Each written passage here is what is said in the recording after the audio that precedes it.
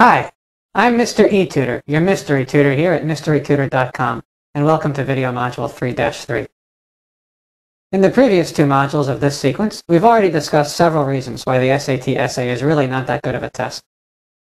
We've seen that Dr. Perelman, one of the heads of undergraduate writing at MIT, explicitly said that the SAT essay rewards habits that he doesn't want his students to have. We've also seen several examples of horrible grammatical mistakes in top-scoring essays, and we've seen an example of a low-scoring essay that followed everything that the rubric said it should follow. So this leads us to a huge question. What is the SAT essay actually testing then? I can tell you right now it is not testing your writing ability in any way whatsoever.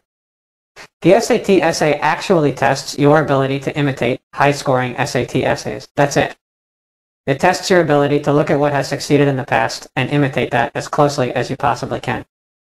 Now, I may not like that and you may not like that, but the fact of the matter is, that's what a standardized writing test almost always ends up rewarding. And that's why the following video modules will be all about identifying the attributes of high-scoring SAT essays and teaching you to imitate them as mechanically and easily as you possibly can. Now, you might be asking yourself, okay, this worked in the past, but how do I know it's going to work for me? Well, let me explain. As we've discussed in earlier modules, every single aspect of the SAT is standardized, and that applies equally to the SAT essay. Even though it might seem difficult to believe, the scoring process used on the SAT essay is extremely impersonal and extremely standardized, and whatever has worked on it in the past will continue to work in the future. This is a common theme when you get ready for the SAT, and it's one we've discussed before and one we'll discuss again.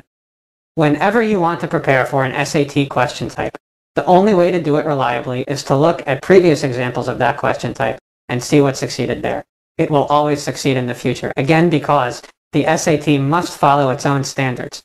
If it failed to follow those standards, the SAT would no longer be the same test, its data would eventually become unreliable to colleges, and the College Board would have no reason to exist. Remember, I've said it before, I'll definitely say it again. What the College Board claims to be testing with the SAT and what it's actually testing are completely different things. The SAT essay is one of the easiest places to start seeing that. So please enjoy the coming video modules, Get ready to change your mindset when it comes to the SAT essay, and remember, it's easier than you think.